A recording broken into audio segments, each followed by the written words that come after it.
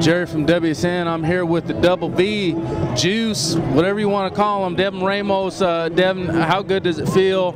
Uh, you went out with a collarbone earlier in the year. You're able to come back. How do you feel, first of all? I feel wonderful right now. I'm so happy to be back. Just help my team win, and we're going to keep on winning the rest of the season all, all the way until we get to Tacoma. So. Now, having you in the lineup certainly changes things, but but this team in general just looks so well balanced, uh, especially compared to last year and the year before's team. You know, uh, talk about that. Talk talk about your guys' balance. It's just so it's so good having so many weapons on offense. Just be able to give it to whoever and know that the big play's going to come, no matter what who we give it to. Now, you may have a game coming up with the Kamiakin Braves. Uh, you didn't get to play in the first one. Your team held steady. What's this game going to be like? It's going to be crazy. Everyone's going to be flying around, going 100% the whole time. We're going to get that victory. Now, in Kennewick, when, when in your part of town, when you end up playing the Kamiakin Braves, do you end up getting special gifts and all kinds of free stuff thrown your way? Not so much.